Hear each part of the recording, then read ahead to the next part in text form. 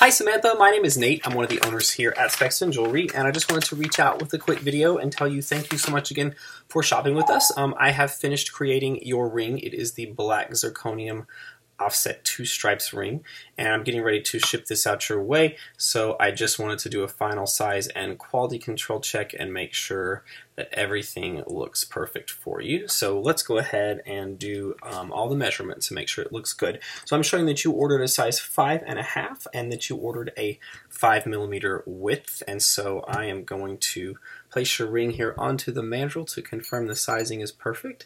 And that is right at 5.5 five and one half. So that looks good. And then also we will measure the width of the ring to confirm that it is 5 millimeters wide, and that looks perfect as well. So everything here looks good to go.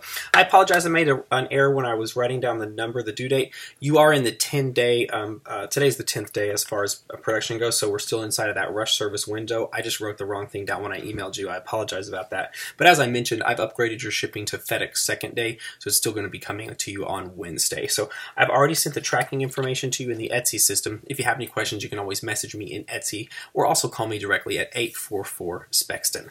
Um, pretty soon, Etsy will ask you to review the ring, and I'd love to have your feedback. It's easy to do. You can just give us a little review of it and tell us how you liked it. So, again, thank you so much for shopping with us. I'll see you with the FedEx driver in the next couple of days, and I hope that you enjoy the ring. Have a great day. Bye bye, Samantha.